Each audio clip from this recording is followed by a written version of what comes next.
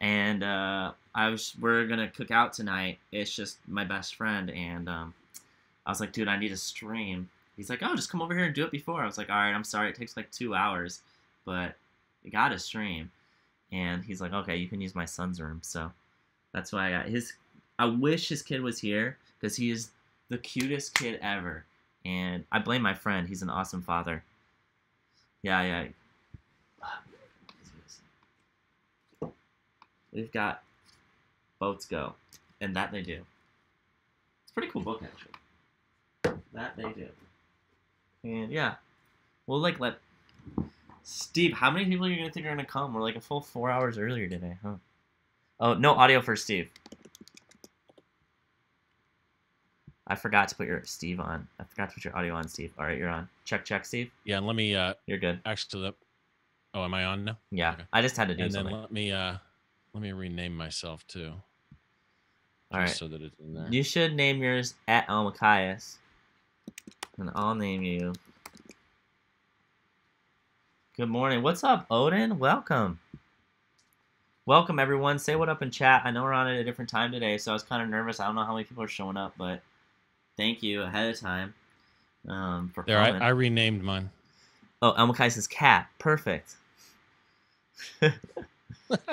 and uh, yeah, but we we came out a little bit early. Let people get set up. Steve, I'm actually gonna grab water really fast. You Oh, go, man. Thanks for I'll that say follow. hi to everybody. I just got to get the chat up really quick here. Thanks for that follow, friend. Is my stuff all off? Oh, we can move this down. There we go. There we go. Chat. We got Odin, that out of there. We got I'm doing Prime stuff as we- Directive. as we're talking. BRB. Say again. you can say hi to people. I'll be back. All right. I'll say hi to people. You come back. Why do we have a? That's really weird. Really weird. Hey, what's up, man? Connor's in there. Odin's in there. It's yeah, it's early. Yeah, okay. What time is it there, Odin?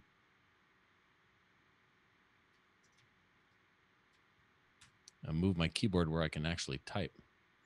Uh, Connor says, Steve, your R5, R6 discussion was great. By the way, Connor, thank you so much for joining in on that. It was awesome to see you in the chat for that.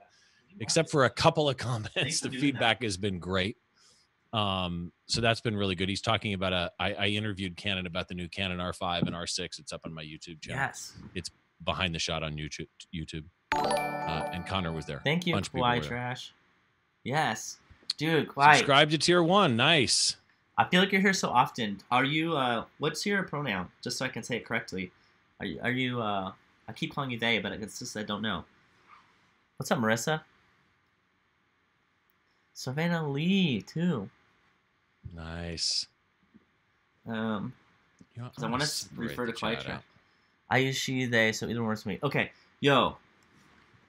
You, she, she, com- so. she has gifted so many subs and subs herself. It's awesome. And Uh, Kawhi, Hawaii trash? Yeah, so I just came in hot. I didn't ask you what you were talking about. But yeah, yeah, she's amazing. Thank you for all the support, dude. Let me pop out the chat would be good. I'm so yeah. We stand Oh, Yeah, she's awesome. Yo, Kawhi, this Thursday. setting screens up and stuff. This You're good, hilarious. Kawhi. This Thursday we're doing a mod stream. Steve's coming. I gotta ask Parker if he wants to come still, but it's gonna be sweet because we're gonna put Marissa, Captain Connor, and uh, Bryn all on on video. I'm excited. Yeah, because the problem is nobody ever gets to see them. Yeah, I want to do meet the mods. Meet the meet the mods. Meet the mods. MTM. Yeah, MTM. Because people never get to see them. Which, uh, what's up, Blue? Yeah, we are early today. We've got a guest who's all the way in UK, so we gotta we gotta accommodate them. Yes. Yeah. Adjust the time. Otherwise, it's one o'clock in the morning. Are they eight? Is he eight hours later than Pacific? Eight hours later, so hours. that's why I can do the photo. That's why I moved the photo hangout up. Is because hangout up is because I used to do it at the same time. Um, what's up, Danny H? How's it going? Um, I don't even know what time or day it is. Oh yeah, I didn't really tell him. It's the same time as the hangouts, guys. It's on Thursday, and it's gonna be at one or three or whatever. That's the Oh, standard for me. I don't know Marissa's what talking about right now. Yeah, right. Yeah, I yeah, that's fair. I've just been riffing. Steve, are you still setting up screens? I'll keep going. No, I'm good to go, man. Oh, How you been? Yo, Savannah, I know it's good. Savannah, I know it's off topic, but that's fine. Uh, we're basically gonna send a link, and people can submit a photo through that link. So we just didn't make it public because there's so many people, and we want to try to um, send it out to people who took a moment to comment or do something like that. So we'll get it to you. Um, just bear with us. Talking about the magazine, Steve. Yeah. Of course you're Yeah, allowed to. I saw them. that. And by the way, I, I was actually in your first or your second one. I don't remember which. Yeah. And uh, the fact that you're doing it all electronically, I think is going to be freaking awesome. Yeah, maybe we'll get it printed sometime, but the electronic allows us to include more people. The first two times we did it, it was awesome. We had like 25 pros and then 25 like amateurs, but they weren't really amateurs. They're just really good, and they hadn't become pros yet, but they're they're just Right. as good in my opinion. And um, what up, Parker? Yeah, the, Parker's here. yeah, the stream's Nice starting picture early. you posted on Twitter, Parker. If um, and then if anybody that's a mod wants to announce in uh, Discord that we're going live, go for it. I, I can't pull it up, but uh, Christian, I can do it really quick. You talk amongst yourselves. Yeah, yeah, yeah, yeah. I We're- got it. We Parker, we got a we got a guest who like I don't really didn't know how to tell people the time change other than to tweet it, Instagram it, and Discord it. And yeah, our guest is coming from the UK, and I he was said the time was fine, and I messaged him a few days ago. I just want to let you. I was like, I just want to let you know, it's 3 a.m. for you, or like 1 a.m. And he was like, Oh, we got to switch it. And I was like, Yeah, that's totally fine. That's kind of what I planned. It's a non-issue. I'm back. Yeah. Welcome back. Thanks for eh, thanks for announcing. Anything happen I missed? Um, no, not at all. Yeah. Um, It's interesting as I'm watching the stream. There's a bunch of chat in there that looks like it's from a previous session. Actually, no, I guess those are us uh, scrolling through. Is it is it Connor and I talking about cookies? Yes, there was something. Yeah, Connor and I started talking before we went live about cookies. Okay, I was like, Connor, I'm looking for a spatula. What's up, Miranda? Miranda's in there. What's up? We got a VIP up in here. Thanks for coming. Yeah, we're just waiting on Christian. Not waiting. I mean, this is the time that he's going to join. There's nothing. He's not later. You know, what would be a fun. Uh, uh, it would be a fun show. Would be get the past guests do a do a show of nothing but past guests What's up, Lisa? editing this week's photo. Oh, that would be cool. Yeah. Like a VIP challenge or something. Yeah, VIP challenge. See what Miranda does with this thing. That would be awesome. I'd love to see that. Yeah. No, that would be cool. Or Thomas or whoever. sometimes the pros will like join in and it's pretty cool like to see their edits i'm always honored i'm like wow you didn't have to do Lisa? that you didn't have to do that okay we got christian everybody give christian a warm welcome here he is Ladies and gentlemen, now batting, Christian Tierney. Yeah. Hello. Can you hear me? yeah How are we? and we can see you it's a double Good. threat That's bad news that you can see me. But how are you? How are we? We're good. How are you? Pretty good, thanks. Yeah. Where are you from, fun. man?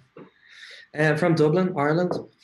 A little town called Lucan in the west of Dublin. It's quite like suburban. wait did you say Um, logan Lucan, L Lucan. L U C A N. Yeah, Lucan. lucan okay cool Uh, it's about like 30 minutes outside Dublin City. So um, yeah, it's lovely. I love it. So I've been I been was back supposed to be there in May. Oh, really? Yeah. Of course, COVID Pretty sad. Yeah. took all that away. Christian, we got. Sorry, I was gonna say we got some of his friends in chat. We got Miranda McDonald and Connor, No. Mc, Connor up, and Connor Mc, McDonald. also, What's up, Connor? What's up, Miranda? yeah, and then a bunch of other My favorite people. people. Yeah. What we're gonna say, Steve? Go for it. Uh, no, that was it. Dr. Clown's in there too. Oh yeah, Dr. Clown PF Fart. That's not somebody you know. They just have a funny name. But yeah, Yeah, Connor's in there. Hello, Connor. It's Connor McDonald and Miranda McDonald. McDonald. Do you know Miranda? Yeah, yeah. Two very Irish names for two very Yeah. not Irish people. Or is that Um, is Miranda Irish or the last name is Irish? McDonald is uh, is an Irish name. Yeah, Okay. Yeah. You can make fun of me for not knowing Irish names. That's cool. it's okay. I wouldn't I wouldn't expect to know know your stuff over in America, so it's okay. We don't want to know our stuff in America. It's a mess. Listen, I turned on the news a couple of days ago and I said no, I do not need to know anything else about that country. But uh, it's okay. We we do our best. I think we're like eleven for eleven of never talking about politics on the stream ever. It's kind it's Oh, kind no, of we've an, nailed it. yeah, it's kind of a nice break from reality. Like we can all acknowledge yeah. it's kind of nutty out there, but for these two hours or this hour and a half, it's just Yeah. I didn't even know who your president is. So, No, I don't think our president know who he is. Who he is. yeah, exa- exactly. All of a sudden, it got real political. Oh well, man. I was just gonna say it's like family. You don't talk politics or religion, yeah. and you're good. Exactly. Exactly. Or uh, okay, we can usually start it off with a good question. Christian, you've toured, um, you've traveled with artists. Do you use shower shoes? Do I use shower shoes? Yeah, you know, like shoes. Uh, no, I've actually never toured with anybody who I'm aware of that does use shower shoes. that is. How- however, that is however, I've been in, I've been in some really rundown venues where, looking back, I wish I had some should kind of have. shower shoes. I did like a s an unnamed state fair on a tour a couple of years ago. an unnamed um, state. Are you unnaming it out of respect? Unna- Uh, yeah, yeah. I just, I just don't want to. Don't We're, we're just not getting, we're just not getting political on here. yeah, yeah, yeah, yeah. Um, and like the showers were. Have you seen uh do, Have you watched Prison Break? Prison. Yeah, I've watched like. Yes. You know the the series where he's in the South American prison. I don't know if I. I know the one. series. I haven't watched it. Yeah, yeah. So it the, the showers kind of felt like that, Oh and man. we were all pretty certain we were going to get some kind of disease. We're still alive, so. So But shower, sh- so shower shoes is that a tour tip that I've missed? Nah, like we just like to ask everybody because it's a funny thing that we have a, a an emote for. Like I don't know, I don't Mm. think you have the chat up, but everybody's like putting shower shoes or no shower shoes icons right now. Yeah, And my, um, my just so that you know, my icon is definitely shower shoes, um, which are you know it's shoes. like flip flops. I don't wear them at all. Ever. Okay. Flip, yeah, flip flops I can see, but then there are people who wear those kind of like those little booties that you wear into uh Oh, into the sea, like sea like sea shoes. Oh, yeah. you know. Yeah. Like that's, I can yeah, that's a little bit too far for me, but flip flops I'm all for. yeah, yeah, yeah, yeah. It's just funny because like people all tour and everybody has a different take on it. Like some people are like absolutely, and then I don't know. We had some people who are like, I mean, you're in a shower with soap. Like, what's the worst that's gonna happen? So the funny, it's a funny Yeah. divide. Yeah, fair, fair. Oh. Miranda says you must wear shower shoes. Come on. Must wear shower- Miranda, sorry to let you down, Miranda. I'll start. I promise. I promise. Next tour. See, I, I, my bag is always overweight. Going through Mm. airports, I'm the guy who always gets caught for the bag being too heavy. Do you check just- bags I- or no? I c- yeah, yeah. I check a big bag, and I just, I just had that's that's a few extra pounds for shower shoes that I just, I'd have to sacrifice something else pretty A few vital. extra you know. pounds. We're not talking hiking boots. Listen, if you're gonna do it, do it right. You know. Yeah, yeah. Yeah, I'm doing, I'm doing, I'm first. doing, I'm doing waders up to here. oh, it's like you're catching a crocodile or something. You never Oh, know. Later, Parker. Um, Well, the way that he described the showers, that's possible. yeah, that's Very very, possible. That's very, Very possible. possible. Well, cool. Well, thank you for joining us today. Uh, for those of you who do not know, this is Christian Tierney. He's a very successful music portrait photographer from Dublin, a small town outside of Dublin, to be exact. Right? Am I saying that incorrect? That's right. I think that's correct. And um, yeah, Yep. You guys, he was generous enough to uh, donate a Drake shot, which it's my understanding he's shot from the crowd, which is uh, we find ourselves in that position a lot. And it was great to see all your guys' edit. So we're gonna interview him. Then he's Steve's gonna talk about the shot with him. He's gonna edit. We'll talk about your guys' edits, and that's kind of our schedule for today. As always, if you have any questions, feel free to leave them in chat. We don't really have any rules here other than be kind, don't be a dick, and just be respectful because we're all here to learn. So yeah, that's what we're doing. Uh, anyway, Christian, you started like nine years ago. Is that correct? I'm right. Yeah, I I used to make skate videos when I was a kid. There's a Oh, skate park like right beside my house, like 30 seconds away, and um, I kind of grew up there. At the time I was about like 10, 9, 10, and um, like all the older kids would make skate videos, and I just naturally wanted to do what they did at that age. So um, I got like a little camcorder, um, and just started making videos, and it was just something that I did when I was at the skate park, and I never really thought of it as anything more than that. And then like kind of as the years kind of went on, um, when I got to like 12, 13, I just I started really getting heavy into like video editing and just ended up spending all my time watching video editing tutorials. So you started with video, started not video, photo. yeah. Okay. not photo. Yeah, Which explains Um, some of the videos you have on your site, actually, because you have, a couple. you know, James Bay's up there, Conor McGregor, Mm. bunch of them in video form. Yeah, yeah. So yeah, and then I, when I was just turned 14, I got a Canon T2i DSLR Okay. because that was kind of the first like amazing video DSLR that was coming out, and um, I got that, and just once I got the camera, I just put everything into making videos and started liking videos more than the actual skating itself.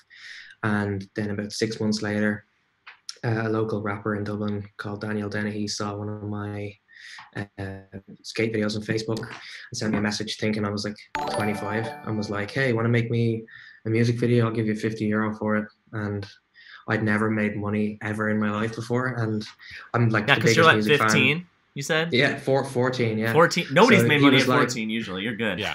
exactly. So he was like, he was like, I'll pay you to put. I was like, he wants to pay me to like put my two favorite things together, making videos and music. Yeah. It's like this real life? absolutely. And then so my dad drove me into the city, and I arrived, and he was like, "Oh shit, you're like really young," but he was like, "If you can do the job, I suppose I'll give you the money." And then we ended up becoming really good friends, and I was like, "I'm just going to keep on doing this." So I reached out to like local acts in in Dublin, if seeing if they wanted like videos made or. Um, I, would started taking photos on the side because the DSLR was obviously amazing photos, um, and then just kind of started from there. And then when I was 15, I started a YouTube channel. And I there was a channel in the UK that I was really into at the time called SBTV, who gave a lot of like big artists like Ed Sheeran and Rita Ora and people like that their first like shot. It's like an MTV or like what? Can you explain to us what it is? Or?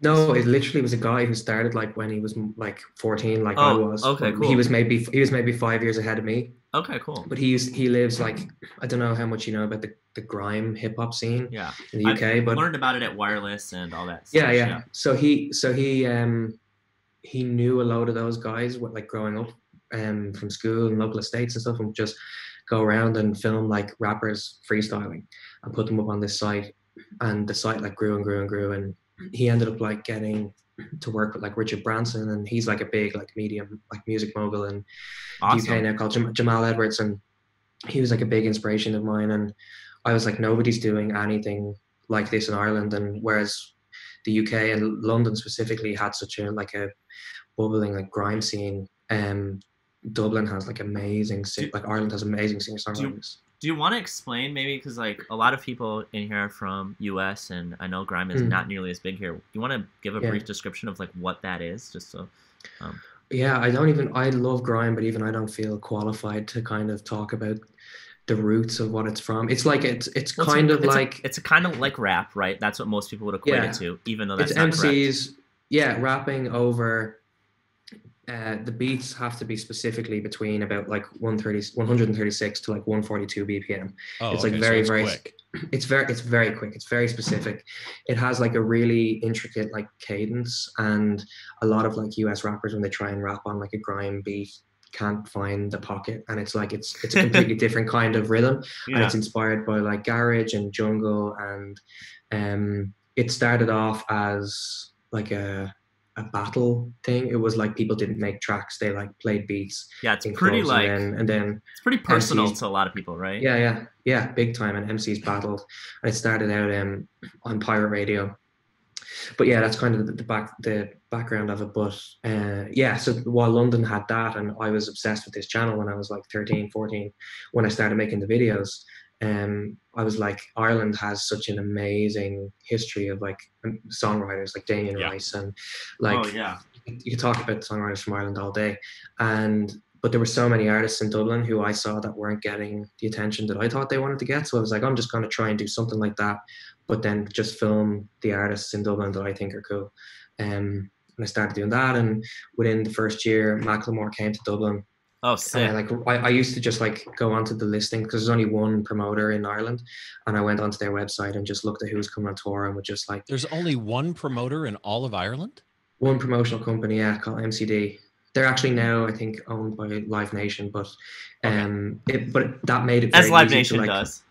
Yeah, taking over the world one Yeah. one venue at a time.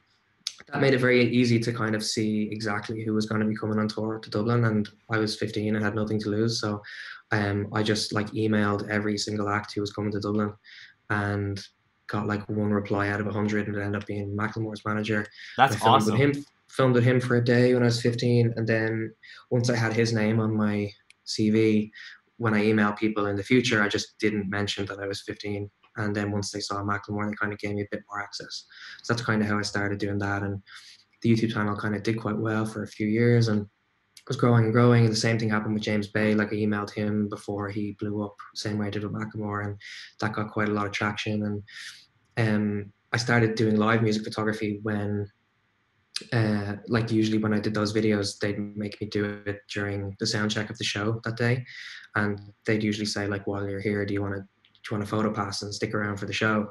So I just stick around and take some photos, and that's how I started doing live music photography. But that was very much from the time I was like 16 to 18, just something I did because I just happened to be at the shows. It's Right. nice. It's Yeah. nice. It's nice. Sorry, can I? I hope it just Yeah, interject. go for fast. it, It's so nice to like. I like hearing your story because I like how organic it is. I like how you're just like, well, this is the next thing I'm gonna do, and then I'm gonna do this thing, and it was very much like, you know, I think it's hard sometimes for people to notice what they have and then work with it. Mm. And it seems like you Yeah. really were like, well, this is my situation. This is where I'm at. This is what I'm doing. I'm gonna push forward with it, rather than being Mm. bummed that you don't have all these other things. For example, being bummed that you weren't in London or something like, well, I Yeah, only yeah. have one promoter here. Let's let's do it. Yeah, Well, Yeah, and you and didn't was let very- the age stop you. Yeah. And as soon and you were smart enough to realize once you got one person on on your resume, you could use that to catapult you even farther. I mean, Mm. really, for how young you were, your your kind of business mind was a little more But, uh, advanced than your age. I wouldn't even because because I for the YouTube channel for the first like four or five years, like I like I never made a s- like a cent, and it wasn't like a business for me. It was just like I love doing this, Mhm. Right. and I'm gonna do this regardless of whether I'm making money from it. And Yeah. if Good place to if be. I can if I can, yeah, I was just very lucky that I was so young and I was still in school and I was still living at home, and I only lived 30 minutes from the city, so I had access to venues. Um, I know a lot of people aren't that lucky, but I yeah, I just I just wanted to work with my favorite artists. So when I was able to use one or two names to get me access to another artist, it was that's just what I did. But it was never like a I'm going to do this as a business move because I might make money off it. Um, and I don't I don't think I ever really made and you like still don't make any money, right? Queer photography now. You're never gonna make money. But I yeah, I just made like a little bit of ad revenue just to like, which didn't even cover my expenses. And then once record labels changed all their policies around who could film videos with their artists when I was about 18, uh, 19, so like the YouTube channel became pretty unfeasible. But Mhm. just very luckily around that time, I was enjoying, I was starting to enjoy photography a lot more than video. And I think I ended up being a lot better at photography than I was at video. And I started like just getting hired. Then people saw the photos I was taking at the shows and started hiring me for photography jobs. So when the, the, the things shifted and I couldn't do the channel anymore, um, I was just like, right, there's no point in me fighting this. It's not, I'm not, I can't change it. Um, I might as well just go like dive headfirst into photography and just kind of try and leave video behind for the moment. Did you find it And- easier or harder or just different? Like, what do you think? Well, coming from video to Mhm. photo, like, how much do you think Yeah. the video helped your photo, or what, what's the vibe there? Did, did, oh, we lost him for a second. Or I, I lost. gotcha. I gotcha. We got. We're back. We're, we're good. Did you hear what I? Did you, did you hear what I asked? Yeah, I heard your Oh, question. I okay, heard your question. Yeah, Yeah, yeah. no worries. So, I, yeah. So when I was doing video, like I, the the bits I loved the most was like composition and color grading, Mhm. and I was like, that's if I do just those two, that's photography. I was like, I love capturing a moment really beautifully in a frame. Yeah. And I love I love editing the colors. And I was like, if I just get Lightroom, I can do that and forget about worrying about audio and forget about worrying about steady cams and worrying about stuff like that. So um I was just like, this is the best the best parts of it for me. Um I also like how I think with video, as you get bigger and bigger with video, it's you start like needing if you want to do music videos, you start needing teams and big budgets and lots of people. And I prefer things where I can do them when it's just just me and a camera. Whereas like when I like I used to play football when I was a kid, and I ended up liking skating more than football because I could do it just by myself. I didn't need Right. like a team of people to do it. I like being able to just pick up a camera and just go and shoot, which was a lot easier to do with photography than it was with video. And I really like the kind of instantaneous nature of, of photography in that sense. Um, so yeah, that's how I got into doing full time music photography then. And around then, I started as I started doing more, I started getting offered festivals in Ireland, and then through festivals, like festivals obviously give you access to a lot of artists at once. So I had a lot more names on my portfolio. At least they used to. they used to, yeah. I was very lucky that um, there's a festival in Dublin called Longitude, and I got on really, really well with the promoter of that festival, and he like let me do portraits of all the artists who were playing it. So um, I got to take portraits of like Dude, I, artists way bigger than I should have had access to. I feel and like you, uh, I feel like you attribute. I hope. I just want to say I feel like you attribute so much to luck, and I feel like most of it is just. Even only after knowing you for a little bit, I know we've talked over the years. But it was my first time talking to you, really. Mm, Um, I feel like you're just a good dude. Like I feel like your personality and how you hold yourself and how you act, like that is. Gen- I think that's. mo- I would create. I would. that's a huge part of luck. yeah. I mean, yeah, that's what I that- would say. that's a huge ingredient in luck. yeah. So well, make, make I don't you- know. I'm nobody but myself. it's so your just- fault. uh, well, I that's very very kind of you to say, and you both, Yeah. both seem like great dudes too, and I have no doubt that that's attributed to your success too. But like, I think that's especially like since I started touring. Like I started touring when I was like, 20 then, and like people ask me like, well, how do you become a tour photographer? And it's like, I s it's 90% being somebody who an artist wants to live on a bus with for six months yeah. without break, Yeah. and it's 10% being able to take the photos. Yeah. You could be the best photographer in the world, and if an artist doesn't want to see you all day, every day, then And that's so forget about it. and that's so hard to explain to people and i think i've even caught caught flack before trying to explain to people i was like look like your photography doesn't really matter and i don't mean that in a way where you shouldn't Right. try to become a better photographer i just Yeah. mean that if your goal is to be on the road from a business standpoint you need to understand like what you need to work on is almost yourself like you need to make sure that Really? you are you know a tourable person what, what whatever that means to whether it means being healthy or a Mm. nice person to hang out with or whatever that means in your world but well, yeah that and, makes sense and the photography matters. I mean, you obviously have to be able to take pictures, Yeah. but it is it is going to be more important that the person can look at your face and you don't irritate them Yeah. for whatever completely. reason.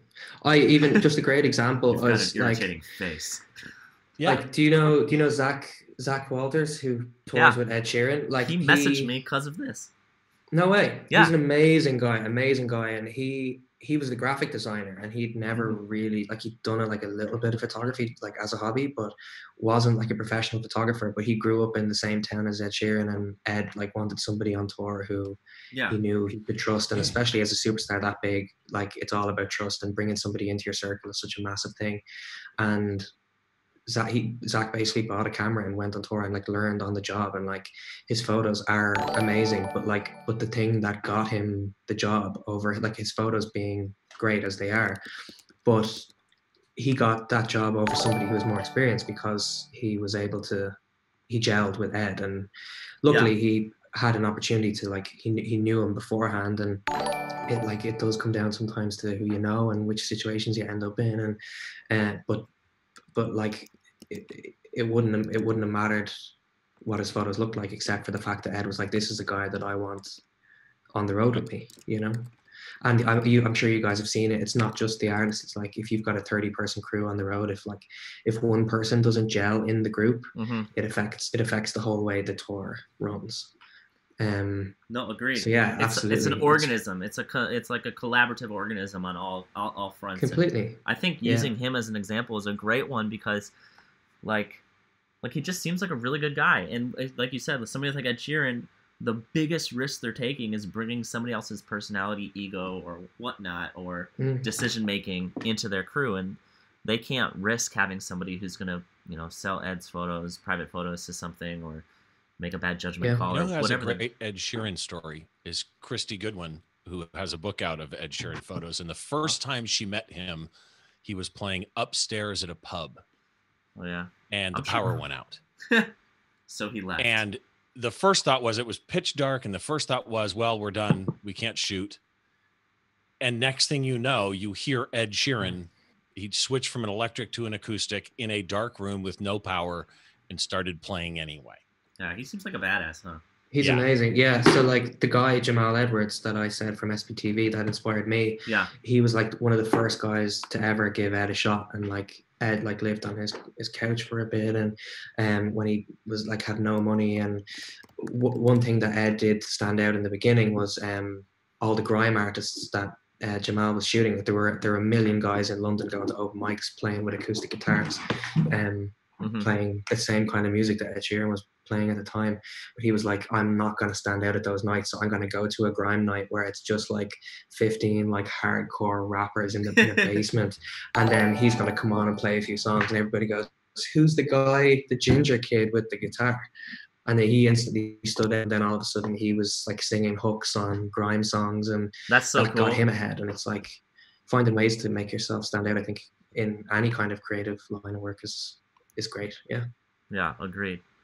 Well, that's cool. I'm glad we drew all those. I like your example. I really think that your example of him is so spot on, and it's a really uh, it's a really hard thing to explain to people because nobody wants to hear that. You know, the craft they've been spending all their time on is the least important part of getting these jobs, but it's definitely a good thing to be able to discuss. Mm. Yeah, cool. And I, I, I just looking at your portfolio and the vast amount of people you've worked with in some capacity, uh, I knew that this was going to be like a good guess. I, I I know it's um because of because of and I, I oh yeah you can see Steve's pulling up her portfolio right now, but it's some really cool stuff. I like the Conor McGregor stuff. It's beautiful. Great job. Um, Thank you. Actually, actually, the Conor McGregor stuff was fascinating to me because, like, this right here shows a portrait style that's super classic.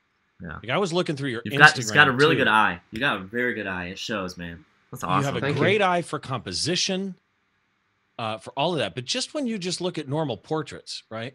Yeah. You have this kind of oh, that was in book. classic, even on your candids like this, you have this classic uh, uh, photographer type vibe to all of your stuff that I just love. Yeah, Thank it's so it's, it's, it's, lot. it's refreshing. It's very fresh. It's very natural looking. What do you shoot with mostly? Do you have a certain lens you like the most? You're 30. Um, mostly, uh, I've I only have like four lenses. Um, hmm I have a 24 to 105, uh, a 50, a 35, and a 135 f2. And like the 135 f2 only comes out like one percent at the time. So Like like say that's a restriction. yeah, I'd, s- I'd say most of uh, like almost all of these shots that you're pulling up are are like just a 50 mil. Yeah. The Like one a- that's up right now. Do you know what you shot this with? Yeah, that was a 50 mil 1.4 Canon, I believe, You're, on a you're on a processing on this, the grain, everything about this could be in a 1950s or 60s Time magazine. Seriously, this it's that freaking good. Thank you so much. Appreciate it.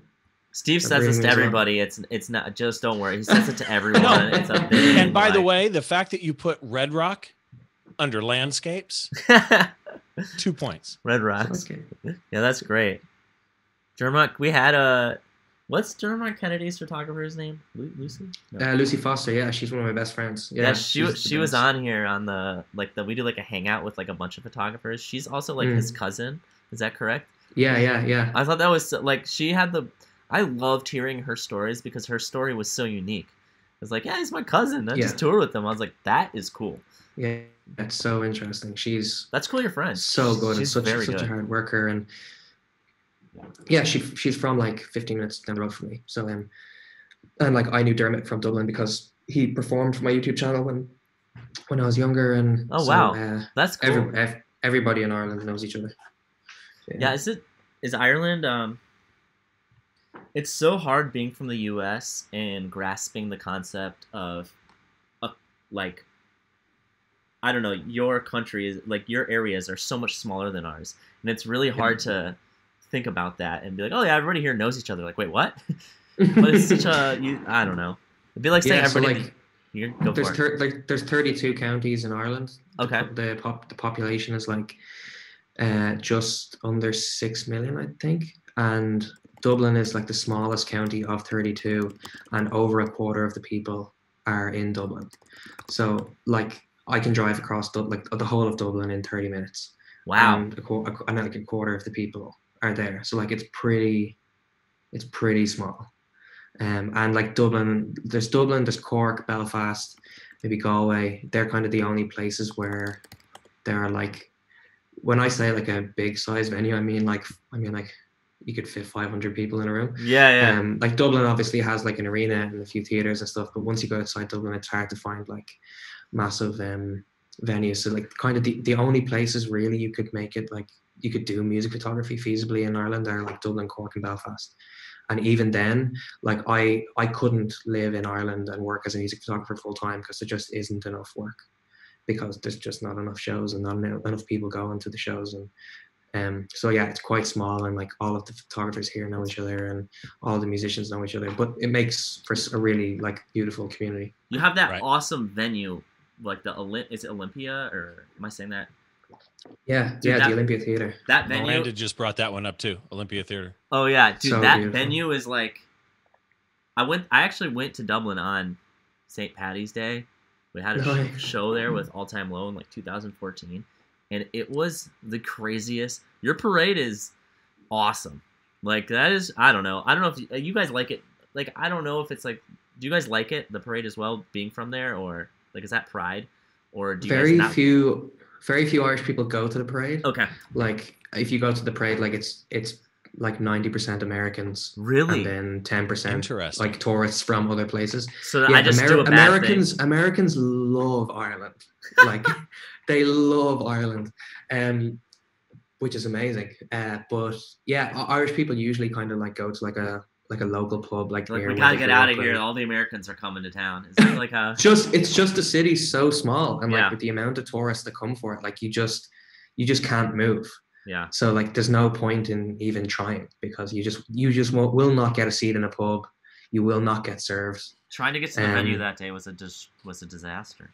i can imagine yeah because the whole main streets shut down um that's Americans awesome you got love to your come here whiskey for and your beer too. Yeah we yeah we, we love our whiskey too yeah Steve, you want to pull up the um, shot? We can keep talking, but you want to pull it up? I can definitely do that. Yeah.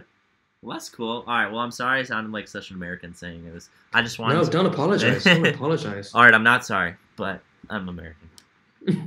uh, this is the unedited shot, for but this yeah, is this is the this is the the raw.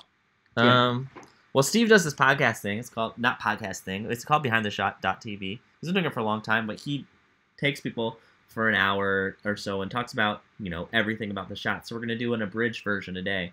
But I'll basically let Steve take it from here. Thank you for letting me interview you and tell me about your story. It's really nice to hear, and I appreciate, appreciate your time. Uh, So- I, I'm I've, I've got so many questions for you about the way that you shoot because, like I say, there's some things that you do. In fact, I think I actually still have this one up. Let me see, like this right here. This Yeah. shot i- is is kind of a summary of how you shoot to me.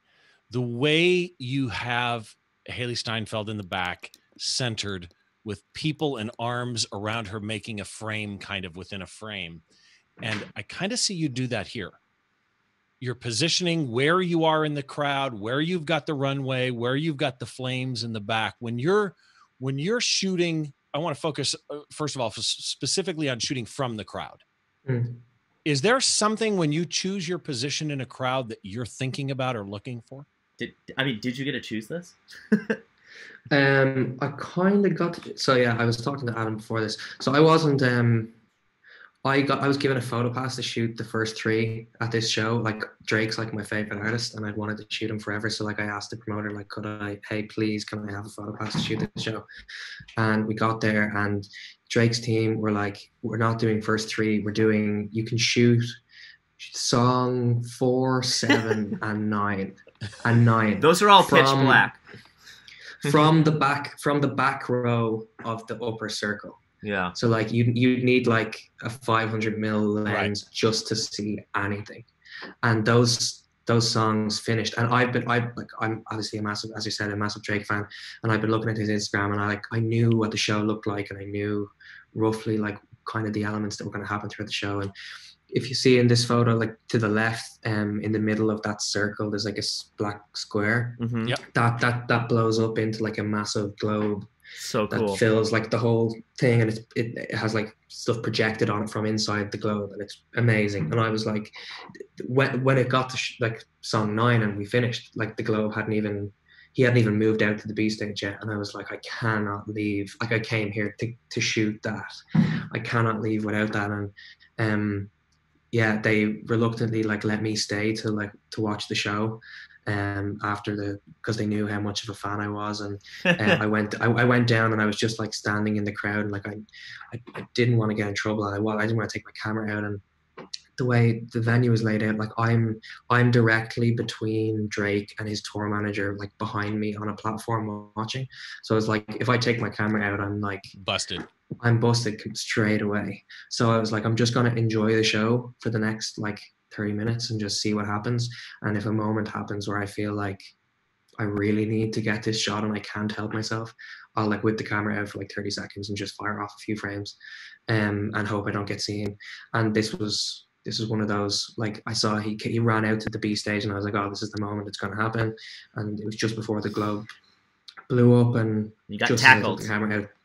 The uh, I was I was actually just like, gonna say, I- yeah, there did- was a- did they there was a attack you? I no, no, they didn't see. But like there was a there was a so what what he's doing with the gun fingers there, he was like starting mosh pits like around the Oh, B stage. that's cool. And I was like in the middle of the mosh pit, like trying to get my camera out of my bag and uh, getting thrown around. And um, yeah, I basically just kind of like no scope that just kind of started firing off. Did you just use a um, Call of Duty term? That's great. Yo, I just Yeah. no scope Drake. uh, I didn't even play Call of Duty, Oh, but um, Fortnite. I, but I just know from friends. Yeah, but um, I yeah, I just started I just started firing, and um, this was one of them, and it was kind of one of those things where you shoot like a burst of like ten, and like nine of the shots like suck, and there's like one in the middle where you Right. caught the right moment, which I think is like. I'm all for like traditional shoot and film, and like film looks amazing, but that's just something you, cannot do unless you're shooting digital where you just 'cause it happens to me so many times when I'm shooting a show where like you just hold the shutter for 20 seconds because you know a moment's happening and all of the shots suck but one of them's like amazing and I, I love that about digital. But uh, yeah I just love the way he's like silhouetted here. You can see like a little bit of his face the lights like wrapping around his arms really nicely um, I like the slight bit of motion blur in his hand um, gives like a little bit of energy See, I like- you, you you just hit everything because I don't want to throw away that that you can see a little bit of his face. That's key to me. It's a great silhouette, but the fact that you can see a little bit of his face Mm. is what gives you the three dimension of him. It, it's what what adds life to him. And you all you said something else I'm interested about. I'm actually curious. You said you had already you know been familiar with his Instagram, so you knew the show. yeah So when you are shooting three from the pit of a of a band you like or or you know artist that you don't know, Mhm. or for that matter, an artist you're going on tour with, yeah what's your research consist of? Um, luckily, when I've been touring with artists, like usually at the very start of a tour, you get like a couple of days of like tech rehearsals where like they're running the lights and um, the band are just like getting used to playing the songs on stage, and so you have like a little bit of a feel for how the show is going to go. But I think like the first few shows of any tour, the main thing is like figuring out the moments and like a lot of artists, even if it's an unchoreographed show, like find a groove and they tend to do like similar things and similar songs um just naturally and it's trying to like read the artist and learn what they're going to do next and um work out where the best parts of the venue to be for each song. And then like usually like the first show like i'm taking tons of notes. Like i'll get a set list and in between songs i'll like write down what happened in each song and what the light what color the lights were and what's happening on the lights and where he is on the stage or he or she is on the Mhm. stage. And and then the next kind of two or three shows are figuring out like work, working out those locations. Um and yeah that's the beauty of like shooting a tour where you get to shoot the same show over and over again you get to like really figure out the show and figure out the best parts of it when, Um, when you when you've got a shot like this, like Mm. Captain Lasagna, Connor said he loves the grandness of it and, and how immersed you are in the crowd. And mm, uh, I forget who it was said something about the energy in the crowd. Um, granted, you're not looking here; you're you're no scoping it, but in a normal crowd shot, what are you thinking of composition wise? Of you know blending you know how much how much arms you want how much heads you want how much crowd you want Hmm. versus how much flames you want what's your composition thought when you're doing these these you know full spectrum shots of a, of a venue Um, I guess I'm kind of like I'm usually looking for drama, and looking for something that like there's movement or excitement, something that makes you feel like you're in the show, Mhm. um, and trying to capture what I feel like in that moment, I suppose. Um, and for me, like if I like if I was just at this show as like a an audience member, I like this is kind of where I'd want to watch the show from Yeah. and I think that's that's what I kind of look for. I look for the part in the in the crowd where I would most want to watch the show from. It's nice you're Um, such a fan. I feel like you can really feel what Right. everybody Yeah. wants when you're a fan rather than just being there because you want to shoot. Yeah, exactly. and, and and, that's like that's key do, do you ever shoot a i- i- if you shoot an artist you don't know yeah, i'm assuming you listen to their music and get to know them because to me knowing the songs as they're being sung mm, changes how i shoot it completely. Like I all my best shots are of people that I'm really into Mhm. because you you're able as I said you're able to kind of read them a little bit because you know a little bit about them even if you haven't shot them before um and you're just kind of you get into like you get into a zone or like a vibe with the music if you're if you like it and like like my photography is definitely inspired by the music that's playing during Mhm. the show and I like I shoot a rock show completely differently I think than I shoot like a a rap show or a singer songwriter show and it's it's It- very it- much Do me Yeah, a favor, expand on that. What do you mean by that? How, how do you shoot rock differently from hip hop or rap? I'm just like I'm very I don't know it's hard to talk about because like I feel like I'm just winging it all of the time Mhm. like I'm just I'm like it's, I, I'm very reactionary like I feel like like uh, when I'm in the pit or I'm side stage or I'm at the crowd like I'm always like reacting to how the artist is performing on stage and like a, a rapper is gonna perform differently to somebody holding a guitar just naturally. And I like I, I feel like you have to shoot somebody holding a guitar from certain angles because of the way the neck crosses them. And if they're holding if they're left-handed or if they're right-handed it's going to look different and it's going to frame differently. And whereas like somebody like a rapper or a pop star who's like just holding a microphone as running around on the stage um you maybe have more more angles and there aren't mic stands in the way and you have to react to that. And i don't know i feel like i just react to every artist like differently. Um i don't know where i'm going with this but yeah i don't i don't really know how to explain it. It kind of feels I, I don't know i kind of get into that like kind of creative flow where like you're not really thinking about anything else except exactly what you're doing when i'm shooting so it's Right. hard it's hard to like think back and think what was i thinking when i took this but it's very much i'm, I'm, I'm just reacting to what's in front of me So um yeah with with like for me, a lot of times, especially if you've got a vocalist in a in a band per se, more towards the rock end, Mm. they might have a guitar, they they work a mic different. But Yeah. if you're dealing with a rapper, they tend to hold the mic closer.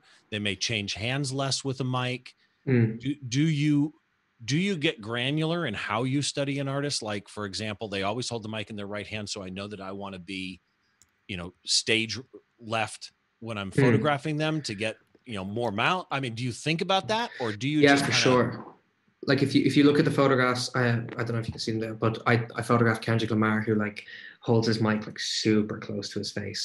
Um yeah there, here we go. And uh, like i had Yeah, to shoot love i had to shoot i had to shoot from oh the side man. because he holds it so like if you're from if you're in the pit you're you're not seeing any of his face. Because he also tilts the microphone up a little bit sometimes. So like his fist and the mic are just like completely you get the mic face. nose yeah. Yeah, and even like I toured a Hozier last year who um, he he has like his main microphone, and then he has a, a, separate microphone, like a real old school bluesy mic with a lot of distortion on it for a certain few songs. But the, he like insisted on leaving the microphone like directly beside the main mic for the whole show, and then he just pulls it in for those two songs. But it meant that for like the whole tour, I couldn't shoot him from stage right because if I was stage right, that microphone was blocking his face, and they're the kind of things that you kind of have to adjust to. So this was another one Oh, whoops. Where I wasn't, where I no, just the whole shoot where I wasn't okay. really, I wasn't supposed to be on stage, but nobody told me. I love that close I was, up. I was already up there, and um, yeah, that's beautiful. Yeah, it's gorgeous. Um, but yeah, you just kind of have to work with. I don't know, just work with what you got. I feel like I'm trying to develop a real concise answers here to questions that I don't really know the answer to, and I'm just that's okay. it can be it can be literally an answer of I like the color blue. You know, I'm curious. This shot just strikes me. There's something about this shot, and I'm curious how much of this was you mm. after the shot. So the stage in this particular shot is this nice warm color. Mm. He's this nice warm color. The lighting is coming off a nice, comfortable. And then not just the sky, but the sky and the crowd are super cool color. Was a lot of that in post, or was that how it was? No, that's exactly how it was. Wow. This was like there's I this this is one of the shoots that I kind of edited the, did the least amount of editing on ever because I like for that reason I was just like I like how this looks pretty it's straight gorgeous. on camera. Um, that was like a perfect night where he came on like just the sun was just after setting and it's like just in that blue hour and it was probably the most amazing performance I've ever seen. And the the crowd were like every single person at that festival was there to see Kendrick, and this was in the first song, and it just the energy was off the charts, and it was just one of those things where every single thing, the lighting, the energy, the the artist, the crowd, like everything just fell perfectly into place, and I just happened to be there to capture it. Like I played a very small part in that, um, but sometimes that's they're the moments you're looking for, you know? So putting you on the spot before we mm. get you to edit. Now that we know the story behind how you were in this position, that you had management behind you, that you were, or, or whatever, that you were worried were armed and dangerous if they saw you shooting. If you were to shoot this show again with yeah. access, without that worry, yeah, what would you have done differently? Because you, you captured to me you captured the story here right? You even you've got the balloons up top you've got the speakers the flown speaker stack. What would you capture or do differently in your head? Um, i think because i've already got it from here i would focus a lot less on the crowd. And like i'm very reluctant to get into the crowd um, when i'm shooting shows for work um, because to get into a position like this, it takes a long time, and it usually will take like a full song to get here. Mm. And then I'll be there for a song. And you're also kind of like, if you're in the crowd and you're sticking a camera up, you're kind of blocking people's view. And that's something that I never really want to do in a show. And and then it might it'll probably take me another song to get out and get back to where I need to be for the next song. So that's like three songs for one shot. And you kind of have to be very economical with your time when you're shooting shows where um, I, am not sure what what song came before and after this, but um, yeah, maybe like I would if it was a, like a 25 show tour, I might assign like one night where I specialize, or like I specifically go out to do crowd shots, and I know that that's what I'm trying to get tonight. Um, yeah, I think I I I shoot shows very differently. If I'm on, if I know I'm only shooting the show once, you have to be very careful with your time. And um, where, but if I know that I'm shooting a whole tour, I can be, um, I can spread it out a bit more. But I think I'd probably be in like the pit around the the B stage because he doesn't allow any other photographers in there. Mm. So I hmm. know that that's going to be a perspective that one the crowd isn't going to get except for the front row, and no other photographers are going to get it. So I'll probably have a higher chance of getting a shot that people won't have seen before. And looking up on all that stuff would be wild. Yeah, completely. Yeah, um, and exactly. He, I, I think I think something that rappers do a lot is they kind of. Am I cutting out again? No, you're yeah, good. Sorry, you're can you hear me? No, you're good. You're good. Yeah, rappers kind of like crouch crouch down to like the front row and stuff a lot, and Drake was doing that a lot. And I love being in the pit and when an, an artist like crouches down towards you and they're like really big in the frame and you get all the drama behind And- them. And I think that's something I would have loved to have gotten here. And I know that those look like balloons, guys, but they aren't balloons. They're actually balls on cables with lights inside of them that move up and Mm. down independently of each other. Correct? Those are like Correct. it's like a crazy contraption. Interesting. Yeah, those aren't. It's- It's a really crazy setup he had. The show is unbelievable. Yeah. Every every tour he does just gets like bigger and better, and the production is insane. Yeah. Well, and that's what this shot sh- says. This shot shows you all the production elements. Yeah. So Some of them, but it is Oh, yeah. yeah. No, it does. It. I would say, like I didn't mean that in a bad way. I'm just saying like yeah, it shows you all of the stuff that you would possibly see at once. You've got the stage, you've got the roof, you've got the pyro, the you've got crowd, you got lights, the- the right? yeah, pyro, it's got a lot of you got stuff in it. yeah, Yeah. uh, just wonderful. I'm I'm dying to see what you would do with this. Okay. Shall we edit? Yeah, yeah. Share your share your screen. Okay. This is my first time doing this. Let me see if this works. That's all good. Uh, can you see my screen? Yes. Yep. You're good. So I believe that when I was editing this the first time, I I think I just used like a VSCO filter. Yeah. Um Team VSCO. like uh, that's what I did like what I used for the first few years when I was editing. Um and kind of look tried to go into the VSCO filters and kind of work out what they were doing. Um but I like I had a VSCO filter that I loved where like I'm sure you guys know as well like shooting sometimes with red light can be an absolute nightmare. Hmm and I had like red is like my favorite color and I love shooting shows that are in red and if I can get it right I love it. Yes. and there was like there was one specific VSCO filter that just made like the reds and yellows in photos pop but kept the image like super super natural. It didn't really do much except like make those reds look really nice. I cannot remember what filter it was so i can't email go and VSCO. You find it now. email VSCO. I'll find it. I Yeah. think it might have been like i think it was one of the kodak gold ones. Um whatever way it handled the reds was lovely. But usually like when i go into like a filter like that i'll just go and i'll bring like i'll take off the grain. I'll take off like most of what it's doing except for the bits that i really like. And then i'll start redoing those things how i do like if that makes sense um but yeah on my left here i've got like filters uh, or presets um from different shoots that i've done Yeah. um, so when I was on tour with Maren Morris last year, I was going through a bit of a colors crisis where I was shooting everything. I was editing everything in black and white because I had no idea how I wanted my colors to look. Like, this isn't how I want it. and um, yeah, and one day I was like messing around with somebody else's filter and like or preset and like changing this and changing that and trying to just desperately get to where I wanted. And um, yeah, so like Maren one is kind of the fil- the the preset that I use for like most things now, most live shows. Um, it's like my starting point. I'll, that's the first thing I try, and sometimes it doesn't work at all. But like instantly, I throw that on, and it it it makes my it gives me the reds that I like. I don't like my reds to be like super like I like them to be slightly orange Yeah. and that's what that does here. So that's before and after. Um, I like very high contrast images, Yes. but like without without crushing the blacks and blowing the whites too high. Um, so like if you look at the curve here, you've got like super uh, dark blacks, but then like the like very low mids are kind of brought back up to balance out. So it's just the black blacks that are being brought down, um, and then the whites are being brought back here.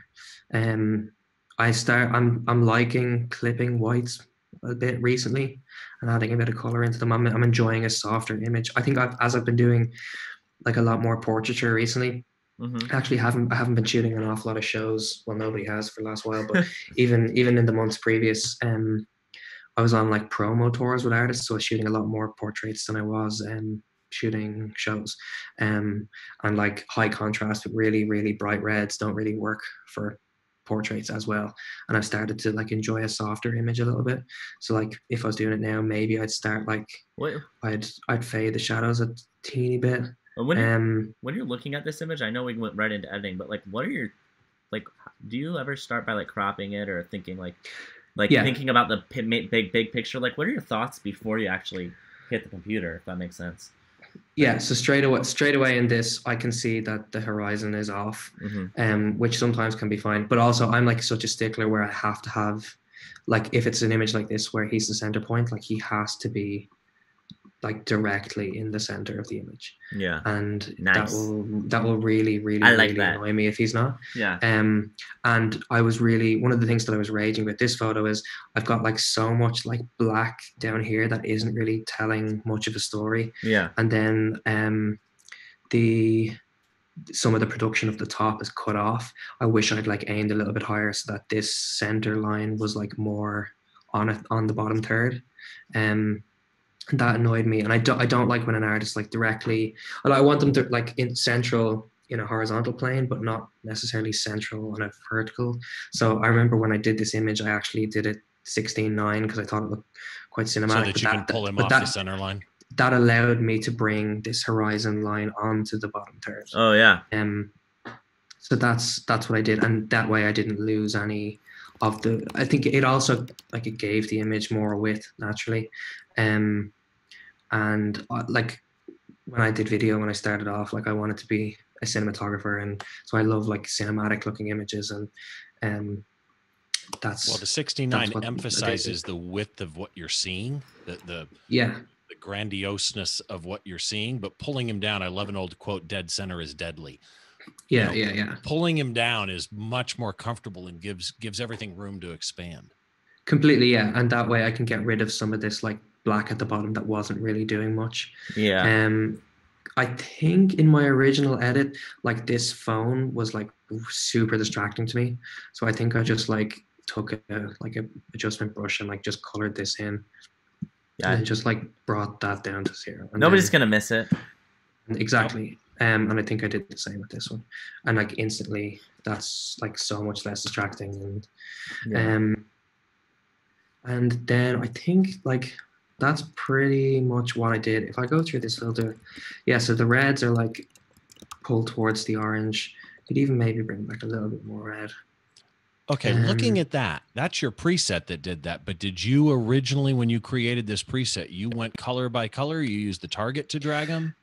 No, I didn't go color by color. I this was this was somebody else's preset that I played you around with for like an hour until I got to where I wanted it to be. Gotcha. So like gotcha. to be honest, I can't remember which whose preset it was, and I can't remember which ones I changed. But I do know I changed like the oranges, the reds, the yellows, and they're kind of the main ones that I changed. Um, I I would think the original had like a ton of grain on it. I took that off.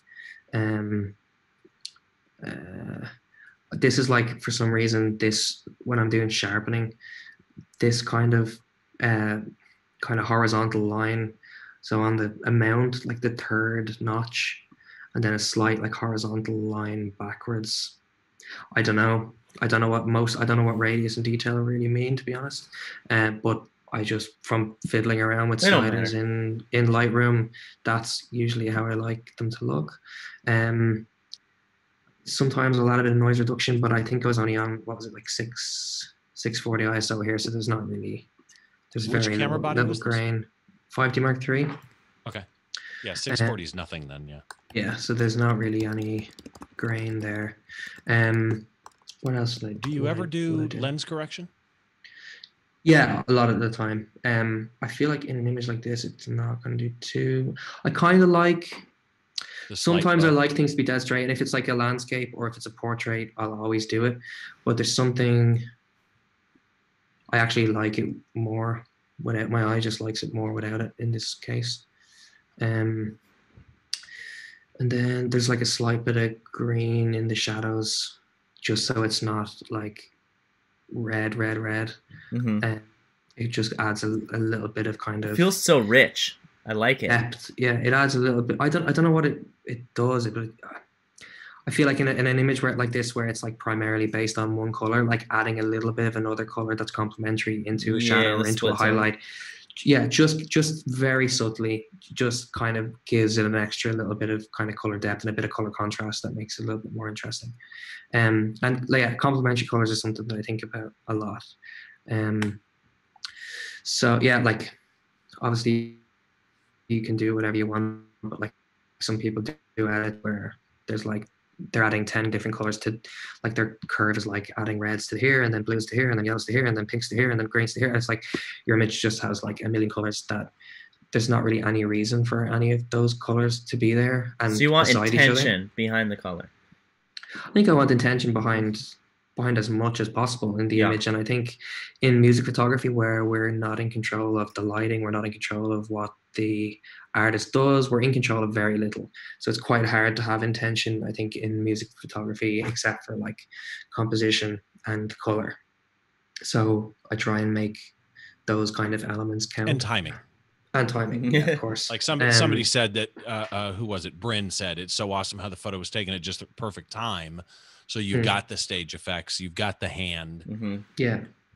Um, but yeah, I just try and have intention. Intention, yeah. But uh, a lot of like, I'm really, really, really liking black and white at the moment. Um, for the last year, like, anytime I can do things in black and white, I'll do it. Um, so maybe I should just do a black and white just to go through it as well. Um, I Yes, think I even hovered over this one. Ooh, This was- everything's this so is- nice in black and white. It's so tempting.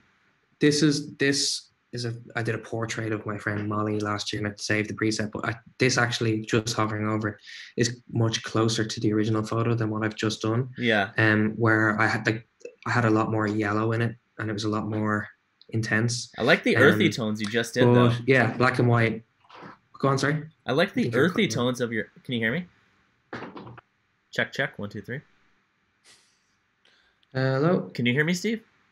I can I hear can you hear just you. fine. You're back now. Okay, You're back fine. now. You're back now. Sorry was about gonna that. no, dude, it's all good. It happens. Um, I like the earthy tones of this one. It's so nice. Like the new one you just did. Yeah, like, I like how it's almost like a gr- gr- brownish orange. It's very rich. It's nice. Yeah, I'm starting to go for like more of like more subtle tones like that. Like I used to be very much like in your face colors. Um Comes in I'm starting to enjoy richer tones. Um Looks cinematic somebody who too. does somebody who does uh, Joe Greer um, from New York, street photographer, uh, is like one of my favorite photographers. He's absolutely amazing, and his his toning really affects how I edit images. Even though he doesn't really shoot music, um, I try and implement a lot of the kind of earthy, warm tones that he has in his portraits into live stuff. Um, but if you don't know his work, we're, we're checking it out. Um, I think I was looking earlier at this kind of. Connor's I probably like- finding it right now. I like like uh, really super high contrast black and whites. Yeah. Um, straight away, I want more, more realistic white. Um, I'm happy enough to sacrifice a little, like a lot of shadow in here. Um, like straight off the bat, like this was one of those photos where, like I, as I said, with Kendrick Lamar one earlier, like I didn't really have to do much to get it to where I wanted it to be. So I feel like I'm uh, not really giving away a lot here. Um, but I like my black and whites to be super contrasty like this and a lot more kind of film noir But if I think I think if I was editing this photo today and I was delivering them, these would be the two alternatives I would give. One thing that's actually bothering me here now is over here, these lights here have like a bit of a purple magenta hue to them. And it's kind of it's the only part of the image where there's like a magenta and that's bothering me a little bit. So I think if I was really being picky, I'd probably uh is that brush working? No. Why is it not letting me uh mask? It'll always do it to you when Oh, you're, you're in. this You're in before. Oh, yeah, You there you go. switched to before mode. That's why Does it work? you hit you hit the We're still- backslash for before. Oh, sorry, I'm on the wrong. Yeah, yeah, yeah, my bad, my bad. Amateur, absolute amateur. I'd probably just like add a new brush and color over those areas, and Who's then just Joel? like- It's Joel Greer. J O or Joe Greer. J O E G R E E R. Yeah, but his Instagram is it's I I O E. Greer. IOE Greer. Okay, Yeah, yeah. yeah. Connor, who's Joel Gray? Armand put a link in and wrote Joel Gray. Joel Gray. Great and so that you know, I'd say. also the newest version of for people watching, if you're looking at yours and it's different, the newest version of Lightroom does have a white balance, you know, tint and color option in the adjustment brush. So if you see that, that's why. There we go. So yeah, that's just a simple adjustment there before and after on those lights on the right hand side of the screen here, where they were magenta and they were. I feel like they're kind of distracting to the eye because it's like a color that's only in that part of the image, and so I've just made them like more um, like orangey. I love watching the Um, phone come in and go That's out. Come in and probably go the out. last thing I do. Uh, and then another thing, just with live shots, it, while I'm doing like those kind of adjustments, is if there's ever like a light or like something like these little phone lights, like right on the edge of the Yeah. image, for some reason that like really annoys me and like brings your brings your eye directly to the edge of the image and so like i'll i won't really edit like those little things too much but if they're like right on the edge of the image i'll get rid of them because i like the edges to just be clean, as clean as possible um but yeah i don't really think i'd do much else to this image um i think this is where i'd want it the last preset that I see ending in a BW, you got Talos and then one right underneath that. Um, That's, uh, that. Pre- that was the hollywood reporter black and Okay. white and Gotcha. that was um, I was shooting behind the scenes for the Hollywood Reporter Roundtable for Oscar season a few months ago, and I obviously it's not showing up any colors, so I must have saved it wrong. Um, but yeah, that's what that one is. okay. But yeah, these kind of like if I'm like shooting a tour, like this looks like a lot of presets, and it's only from M to to, to, to T. Um, I usually Maren one. Um, recently, I'm using "Nice to Meet You," which is from um, Niall Horan. Um, I was shooting behind the scenes on his music video for "Nice to Meet You," and uh, yeah, it was a preset like I made on that day, and I've really loved it since. And it's it's quite versatile. It works for live stuff, and it's really nice for portraits. And again, it's quite like heavily red based, but it's it's a lot more, as I said, um, it's a lot softer than say this. Like the blacks are raised and the whites are are lowered. Um, How often when you're on when you're on tour and you're in a hurry to edit, yeah. how often do you just click one of your presets and go, that shot's done? Uh, I don't think I've ever just clicked the preset and it's been done. I'll always I'll always do something to it. Um, I don't know. Yeah, I, I just yeah I don't know. It feels a bit weird to me, or just like I, I just I, my my my presets aren't good enough and my photos aren't good enough for that to ever work. Maybe one day I'll have my presets perfected and my photos will be good enough that, in camera that I won't have to do that. If you start But, feeling um, that way, it's probably. I feel like once that goes away, it's like, where's my drive? It's like you always, you know, Right. you always want it to be better. I feel like that's just. It's not that they aren't good Yeah. enough. It's that you just want more. You want to keep improving. That's what I feel. Like. Exactly. Exactly. Yeah. I, I like so- what Miranda said. Miranda said Rihanna Paris, casual, talking about the preset you have for Rihanna Paris. yeah. Um, that is what it is. Yeah. Um, cool. Well, thank you for sharing your edit. Well done. Of course. And um, yeah, let's uh, Steve. I know Christian. I know you did something that not everybody does, but you pulled up some screenshots of your own. Do, would it? Would you usually what we do is Steve will like go through the hashtag. Do you just want to kind of point them out when you see them? That way we can. Yeah. Kind of, Perfect. is that okay with you? Do Yeah, you know? Do you know where you pulled them from? Was it from Instagram? Was it from Twitter? Uh, I just saved a couple from Twitter before this, just in case. Okay. Um, but but uh, but Instagram, there were so many amazing ones on Instagram too. So it's probably easier if you just scroll through and we just. Sounds good. Let me share. Yeah. Any you want to talk about? We'll pull them up and we can talk about them. So, and I have to just say, oh, oh, if we ever hit a week where Nate Hill doesn't do an edit, I'm gonna I'm gonna freak out because he just goes so next level. Yeah, this was super interesting, and I'd love to know, like, did he? Dude. Is this his hand? Did he, He- take this photo? Yeah, so I- he's a he's like a visual artist on Instagram. Uh, he makes some crazy stuff in Photoshop. So I'm assuming he just photoshopped Insane. together. Yeah. What's funny though is that almost looks like an, an original iPhone or like an iPhone 3. Yeah, yeah, yeah. you know? It's just like, really? yeah. He is he is I love that. I love that. It's such an interesting. I, like if if it fits perfectly with the Odin said the he- shot because yeah, Odin, go on. Odin said he took the photo of his hand. Odin's a friend of his, and he's also Okay, cool. shot. Yeah, so um, creative. yeah, so people got crazy on the colors. Yeah.